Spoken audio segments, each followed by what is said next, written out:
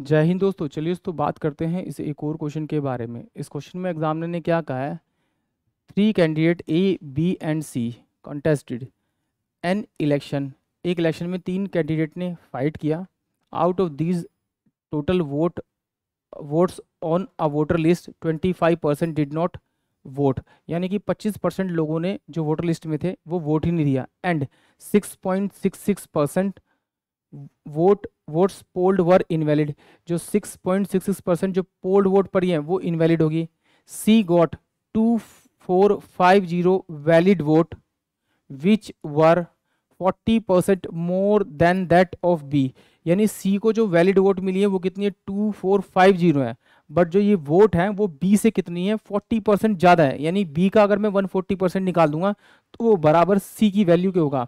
यानी कि मैं यहाँ से बी की वैल्यू भी निकाल सकता हूँ valid vote if A got only forty percent of the total votes then who is the winner तो एग्जामिनर ने कहा है कि अगर ए को फोर्टी परसेंट वोट मिली है टोटल वोट का अगर फोर्टी परसेंट मिला है तो विनर कौन है? विनर तो वही होगा जिसको ज़्यादा वोट मिले होंगे। चलिए देखते हैं। मैंने माना कि टोटल जो वोटर है, वो मेरे पास में हंड्रेड है। अगर मेरे पास टोटल वोटर मेरे पास हंड्रेड है तो पच्चीस परसेंट ने वोट दिया। तो दिया कितना को वोट ने? सेवेंटी फाइव ने।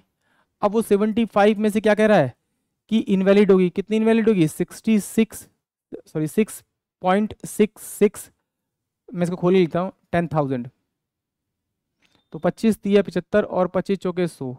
यानी कि ये कितना हो जाएगा मेरे पास में? नाइन नाइन नाइन और डिवाइड बाय में, मैं इसे करूँगा आपका टू हंड्रेड। तो इसे क्योंकि काट लिया मैंने, ये दो हो जाएगा, ये तीन और तीन हो जाएगा, ये कितना हो जाएगा आपका? तीन तीन, नौ।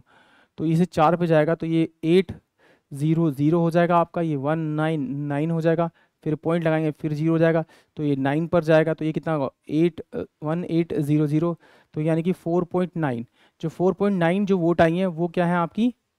इनवैलिड तो इसको अप्रोक्स में मैं फाइव वोट लेता हूँ, यानी कि इसमें से फाइव वोट निकालूँगा तो ये जो सेवेंटी वोट्स होंगी, वो मेरी इनवैलिड होंगी, इन्हीं वोट पे जीत हार होगी। अब इसमें एग्जामिनर ने कैंडिडेट दिया हुआ मुझे, ये कैंडिडेट ए दिया हुआ है, दूसरा कैंडिडेट मुझे बी दिया हुआ है और एक तीसरा कैंडिडेट मुझे सी दिया हुआ है।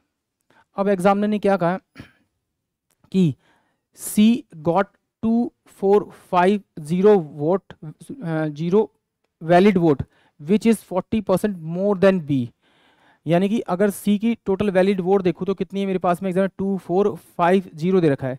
ये क्या है? बी से फोर्टी परसेंट मोर देन है तो इसका मैं two four five zero into में हंड्रेड बाय में अगर मैं वन फोर्टी करूँगा तो मेरे पास बी की वैल्यू आ जाएगी। इससे मैंने इसको काटा। तो ये दो सत्ते चौदह और दो पचास। तो इसको काटूँगा सात इक्कीस, सात सात ती इक्कीस और सात पंचे पैंतीस। तो ये कितना? पाँच पचपन पच्चे पच्चीस और पाँच तिया पंद्रह सत्रह, यानी कि सत्रह सौ पचास। तो जो बी की वैल्यू आएगी वो सत्रह सौ पचास आएगी।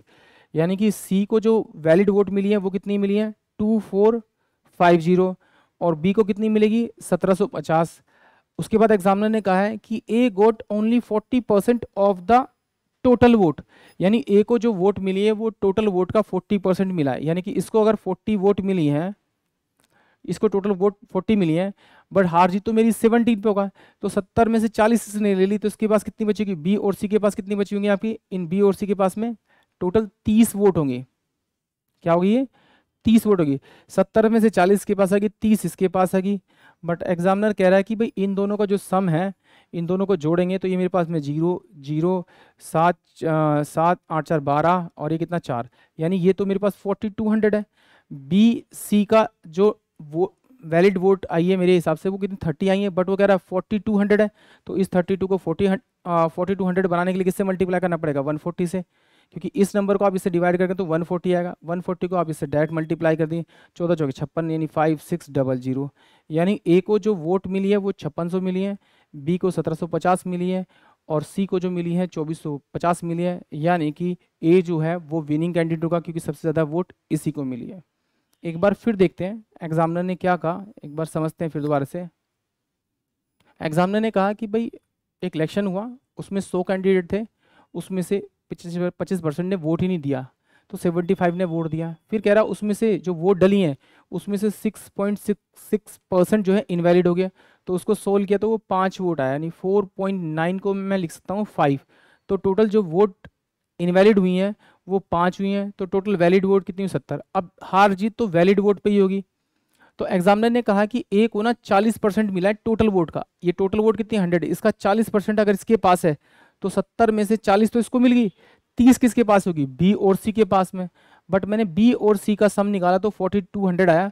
ये 30 को 4200 बनाने के लिए किससे मल्टीप्लाई करना पड़ेगा? 140 जिससे से मल्टीप्लाई किया, उसी से ए को मल्टीप्लाई कर दे तो ए का, हम ए की वोट्स आ गई बी की वोट्स आ गई सी की वोट आ गई और ए की वोट ज़्यादा थी, यानी कि ए जो होगा, वो विनर होगा। एक बार ये देख लेते हैं कि बी का कैसे आया। एग्जामिनर ने कहा था बी जो है बी का अगर मैं 140 परसेंट निकालूं, यानी वन फोर्टी बाय में हंड्रेड करूँ तो वो बराबर किसके होना चाहिए आपका? टू फोर फाइव ज़ीरो के बराबर चाहिए। यानी कि अगर मैं इसको सबको यहाँ भेज दूँगा तो two four five zero into में हंड्रेड बाय में 140 ये मैंने सॉल्व करके यहाँ बताया था। यानी कि ऑप्शन जो ए होगा, वो इस क्वेश्चन का करेक्ट होगा। आई होप आप सभी को क्वेश्चन समझ में आएगा जय हिंद, जय भारत।